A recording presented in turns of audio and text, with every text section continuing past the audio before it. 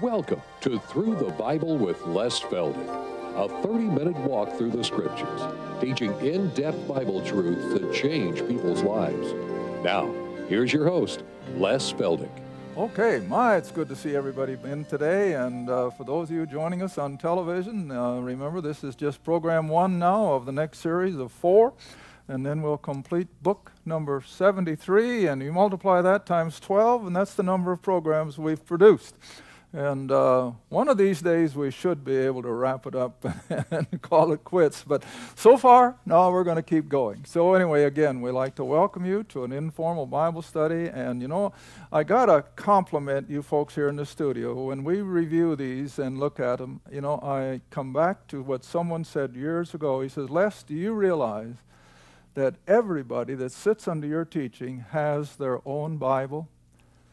And I'd never really thought of it that before. And so when we watch the film, sure enough, everybody's got their own Bible, and so I do. I appreciate that so much for those of you here in the studio because we know our TV audience is doing the same thing. They grab their Bible and uh, they sit down and watch it with us. Okay, now I only have one announcement, and we're still going to let folks know that our one and only book of questions and answers is still available and uh, we send it out with uh, no other charge except for the 11 bucks for the book itself. And uh, if you're interested, you just call and the girls will get it out to you. We uh, send everything out with an invoice, and for those of you out in television, you pay for it when you get it. All right, we're going to continue on on our series that uh, we started in our last four programs on the incarnate Christ, which is a coined term merely to define that Jesus of Nazareth was totally God and totally man. You know, that's a concept that a lot of believers, I think, even have a hard time recognizing that when he prayed to the Father, he prayed from his humanity. He was totally human.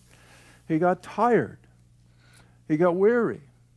And uh, there were times when uh, he just simply showed his humanity. He wept. When Lazarus died, the, the sorrow of that household touched him like it would any human being.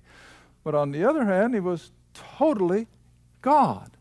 And he could raise the dead, he could forgive sin. And I was thinking again last night. We, we, we hear these things and we believe them, but do you really sit back and picture it if you'd have been there with those 12 on the Sea of Galilee and the waves are beating over that little boat and the wind is roaring and all he does is stands up and says peace be still and whoosh, everything's quiet. Now we know the story but do you really stop and think what that must have been like? No wonder the 12 says what kind of a man is this well, he's God, the same one who created everything. Never lose that. I think if anything has thrilled me in this series of lessons now on the incarnation, is that it just brings home to me once again that had God not become flesh, we'd have never had salvation. Do you know that? We'd have been doomed automatically. And then at the same time, they came up with another thought. Now we know that the Old Testament, especially, let's go back and look at it. I didn't really intend to do this. I may even have to look and see if I can find it. I think it's Deuteronomy chapter 6. I hope it is, or I'm in trouble.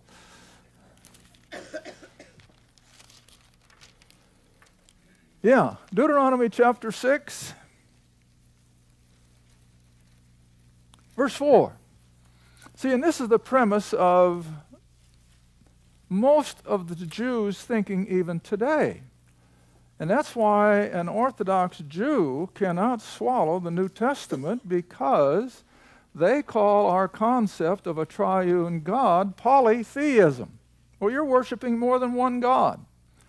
And we don't. All right, here's their reasoning Deuteronomy chapter 6, verse 4. Hear, O Israel, the Lord our God is what? One Lord. See, and they can't get away from that. But now, have you ever stopped to analyze this whole idea of a triune God? Now, you can go back to Philippians again, be ready for when we get on the point. Have you ever stopped to think, again, could God have precipitated our great plan of salvation if there had been only one person of the Godhead? Have you ever thought about that? What if there had only been one person of the Godhead? Let's just say God the Father. Could he have consummated this glorious plan of salvation? Well, he could have gone part way, but what would he have done when he was ready to die and we would have to be resurrected? Who would do it? See? It falls over. But you see, with the concept of a triune God, one of them could come down and become flesh, become flesh and blood. He could die. He could safely go through death and the tomb because you still had two persons of the Godhead to call him forth. And they did. So you see, the more you analyze all this, the more miraculous it becomes, and yet the most logical of anything on earth. And so keep all these things in mind and, uh, and mull them over. Mind your spare time. Just think these things over and over. What if there had only been one person of the Godhead? What if one of them hadn't come down and become flesh and blood? And so it is thought provoking. Okay, so here we go for another series of teaching on the incarnate Christ, the God man. Philippians chapter 2, and we'll drop in at verse 5. Philippians chapter 2, verse 5. Where Paul writes, Let this mind be in you, which was also in Christ Jesus.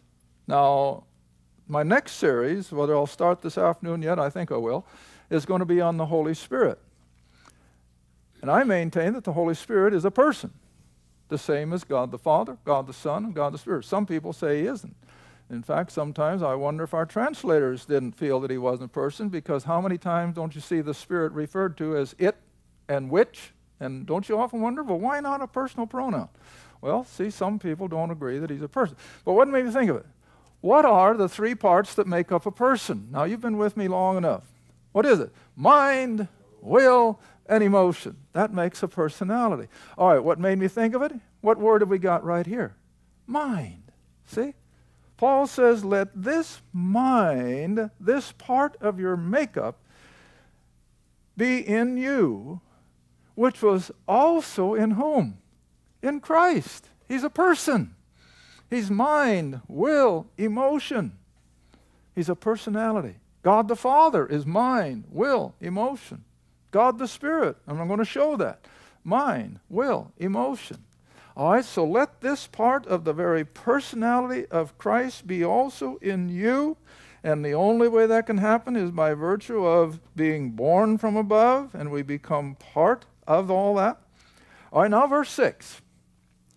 Who, speaking of God the Son, being in the form of God, he was God from eternity past. Now, some of the cults teach, of course, that Christ didn't appear until many, many, many, many ages after the fact, that he was not eternal in his existence. But this says he was. He's always been God from eternity past. All right, so who also being in the form of God, thought it not robbery or something that he could just grasp because he wanted it to be equal with God because he was. It wasn't something that he had to grab for, he had it. All right, now verse 7. But what did he himself do? He made himself of no reputation, took upon himself the form of not an emperor, not a prince, not a governor, not a dictator, not a senator, not a physicist, not anything else, but a what? What's the other word for servant in the New, in the New Testament? Huh? Bond slave. The bond slave. Well, on the totem pole of society, where was a bond slave? At the bottom. Wasn't he? Yeah. So Christ became flesh, not like these televangelists try to tell us, that he was rich, that he had all these world's goods. I say, hey, that's not what my Bible says. My Bible said that he was comparing himself to foxes who had dens, and he didn't. And birds have what? Nests. He didn't even have that. So what was he? He was beneath everything.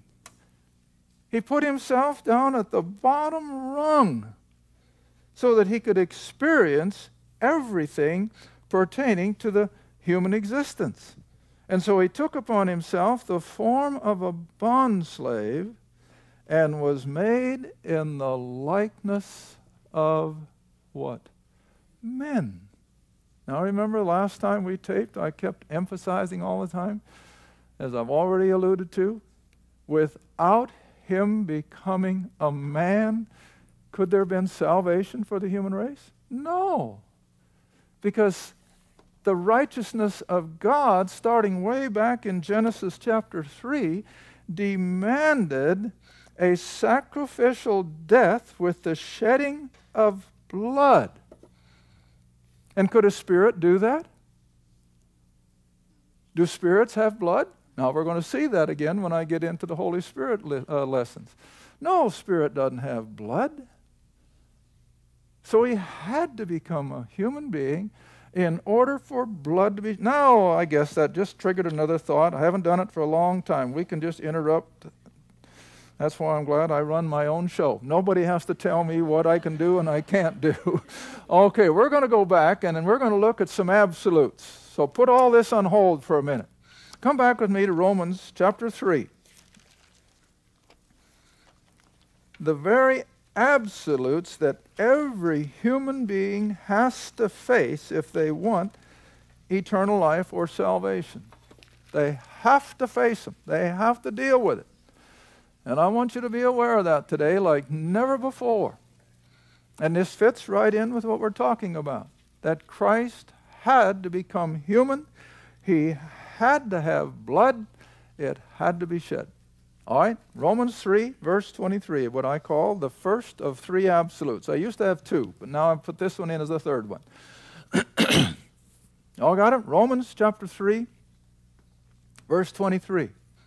For all, no one excluded, all have sinned and come short of the glory of God. An absolute. You can't argue with that.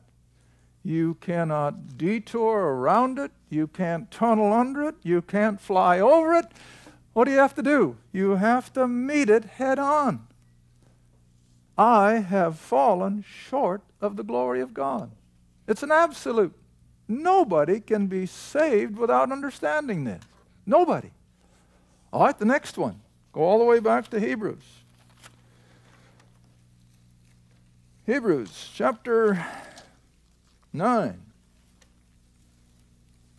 And this is what made me think of this. See, I can prepare and prepare, Jerry, and I can prepare, and I didn't have these in my preparation. But here it is. Verse 22 of Hebrews 9. Almost all things are by the law, purged with blood. But here's the part that I'm looking at without shedding of blood, there is what? No remission. None. The other word for remission is forgiveness. So without the shedding of blood, there can be no forgiveness.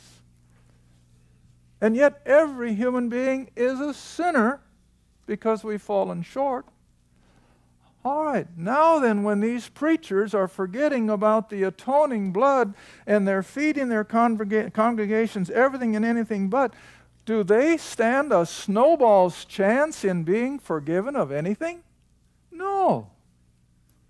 Because you have to have the blood. It's an absolute. And you're not going to compromise with God and say, well, now, wait a minute. Now, that's kind of a gory situation. Do I have to face something like that? Yeah, you bet you do.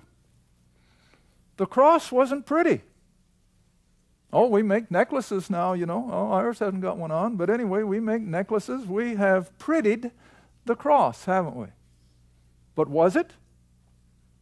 No, it wasn't pretty. It was awful. It was awful. Why? Because sin is awful. You know, I'll never forget. Do you remember, honey, when we were in the mosque, the Golden Dome, way, way back? One of the first or second times when we took a tour to Israel, and at that time, you know, the Intifada hadn't started, and we could actually, if we took off our shoes, we could go into the Golden Dome. And inside the dome in Rome, inside the dome on the bottom floor, is this huge rock that comes up about eight feet above the floor, where supposedly Abraham offered Isaac. And so our Jewish guide was explaining how that the altar of Israel's temple was quite likely in this very same spot. And then he was explaining the geography of the area, how all this blood of these animals could just be drained down and then it would go out through underground caverns out to the Kidron Valley. So, anyhow, we were talking about all the slaughter of all these animals, and somebody in our group, we weren't that large, probably around 30 of us, somebody made comment that that was such a gruesome religion. Well, our little Jewish guide, of course, uh, tried to explain the fact that when these priests killed these animals, it was such an instantaneous death that the animal never suffered one iota.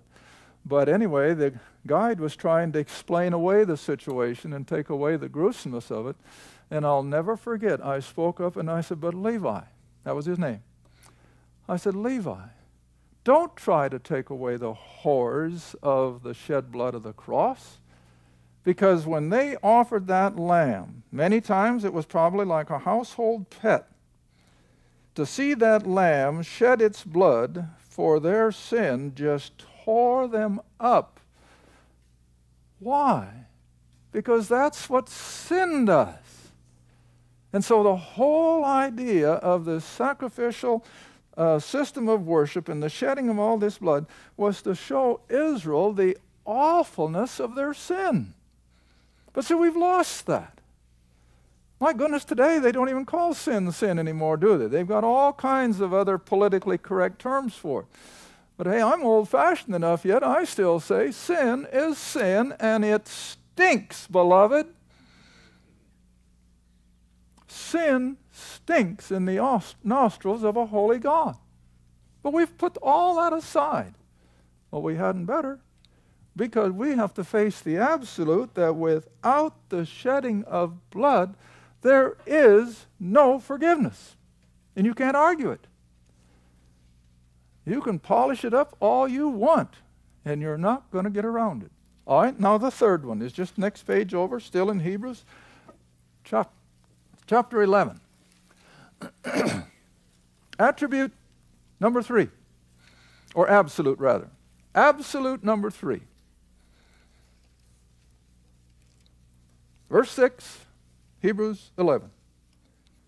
But without faith, it is impossible, no way, shape, or form can you please God without faith. But faith in what? The gospel, the shed blood, the death, the burial, the resurrection. How many church congregations are hearing that anymore? I just had a guy call last night from one of our eastern cities. He said, Les, he said, my wife and I have been visiting churches one right after the other, Sunday after Sunday after Sunday, since I'd been out there. And I was out there when? In April? Yeah. As we can't find a church that's preaching this. Said, we don't hear it. Not a one. Now, I don't know how many Sundays that would be, but whatever. And I know this is true because they don't like it. And then Sunday school, I have people who have been under my teaching, and when they bring out some of these things, yeah, I got heads nodding all over the place. What do they think? They think you've lost it. Where do you get that? Right here. And they can't see it. But anyway, those are your three absolutes. And now, if you'll come back to Philippians, I don't know what in the world got me off on that. But anyway, here we have the fact that we have to believe. We have to know what God's Word says. See, a lot of faith today is in anything and everything but the gospel. Oh, faith in God, faith in the miracles, faith in this and faith in that. But that's not what we're talking about. We're talking about faith in the gospel, that work of the cross. Otherwise, Christ wouldn't have had to come and become flesh because it is paramount that that is the very center of our salvation experience. All right, back to Philippians chapter 2. Reading the last part of verse 7 where we left off, and so he took upon himself the form of a bondslave and was made in the likeness of men. He was totally human. And being found in fashion as a man, he humbled himself of his own volition, stood there and took all the abuse of the Romans and all the verbal abuse of the Pharisees and the priests and so forth without a word of opposition. Why? Because he was voluntarily becoming the Lamb of God. And a lamb, you know, never fights back. I guess that's why God chose that as the typical sacrificial animal. A lamb does not know how to fight back. And so, as a Lamb of God, see, he went without a word of argument. All right, and became obedient, just like Isaac of old. He became obedient unto death, not just death by a sword, not just death by maybe a beheading, but the worst death that the human race has ever invented the death of the cross. Because again, you and I do not even have an inkling of the suffering and the horrors of death by crucifixion. It just literally crushed the diaphragm so that they couldn't breathe.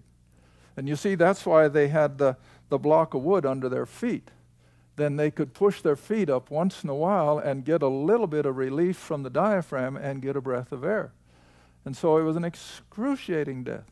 And this is what is pointed out then in this last portion of the verse.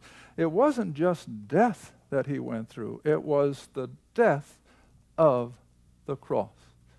And again, nothing else could have consummated our salvation. He had to be lifted up, he had to shed his blood, he had to suffer because that was all part of the, the payment of sin. Not because God is so awful, it's because sin is so awful. And my, we're seeing it explode all around us. You know, uh, I take the Daily Oklahoman, and every day, every day, it's murder, it's rape, it's drugs, it's alcohol, and it's just coming like a flood. So don't blame God. And so sin is awful. And in order to pay that sin debt, Christ had to meet all of the demands of a holy God. All right, on that basis, I'm going to take you back for a minute to Romans chapter 3 because I had a phone call yesterday that I had to use this verse. And uh, I think since I'm talking about how much the cross accomplished,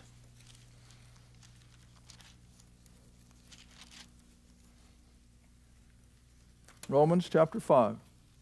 Had to look for a minute. Romans chapter 5.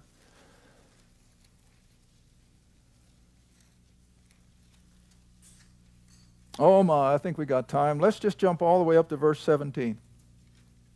Romans 5, verse 17. Now remember what we just saw in Philippians how that Jesus Christ took upon himself the form of a man that he might suffer death, not just death as may usually happen, but even the death of the cross. All right, Romans chapter 5, verse 17, honey. For if by one man's offense, Adam, who plunged the human race into where we are, if by one man's offense, death, and death and sin, remember, are synonymous, reigned by one, much more they who receive abundance of grace and of the gift of righteousness shall reign in life by one, the second Adam, and who is that? Jesus Christ. See that? Now then, verse 18. Therefore, as by the offense of one, Adam, judgment came, the curse, upon all men to condemnation, even so by the righteousness of one, Jesus Christ, the free gift came upon all men. Everyone has had an opportunity. If they don't take it, it's not God's fault. They've all had the opportunity. So the free gift came upon all men unto justification. Now, this is all repetition to make the point. For as by one man's disobedience many were made sinners, in other words, the whole human race fell under the curse, so by the obedience of one, obedient to what? The death of the cross. So by the obedience of one shall many be made righteous by faith. Now 20. Moreover, the law entered that the offense, in other words, that sin could be seen for what it really was. It was written in stone, so there was no arguing out of it. That the offense might abound. Now, here's where it is.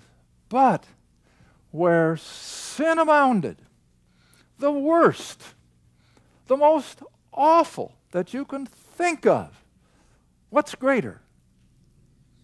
What's greater? The rest of the verse. Where sin abounded, grace did much more abound. What a God! That no matter how vile a man may become, or what an awful sinner he is, God's grace is greater than his sin. Thank you for watching Through the Bible with Les Feldick. Through the Bible is a partner supported ministry if this program has been a help to your study of the Scriptures and you'd like to see others enjoy the teaching, your support would be greatly appreciated. Write to us at Les Feldick Ministries, 30706 West Lona Valley Road, Kinta, Oklahoma 74552, or call 1 800 369 7856. Remember, all programs are available in printed form, audio cassette, and videotape. Be sure to tune in next time to Through the Bible with Les Feldick.